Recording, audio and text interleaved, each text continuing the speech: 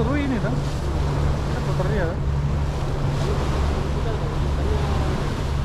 kita kalau ada lima nunggu dia depan kalau ada numpor boleh. Hmm, biasanya pas pulang. Hmm.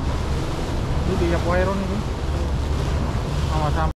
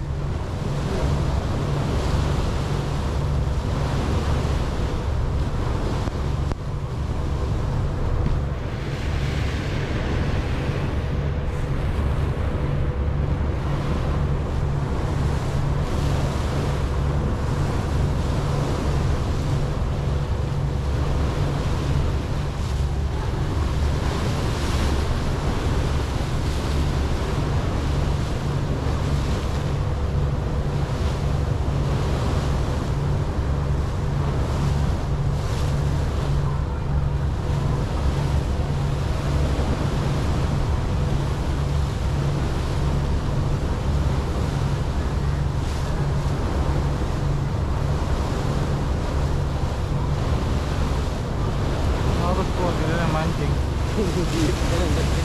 那一点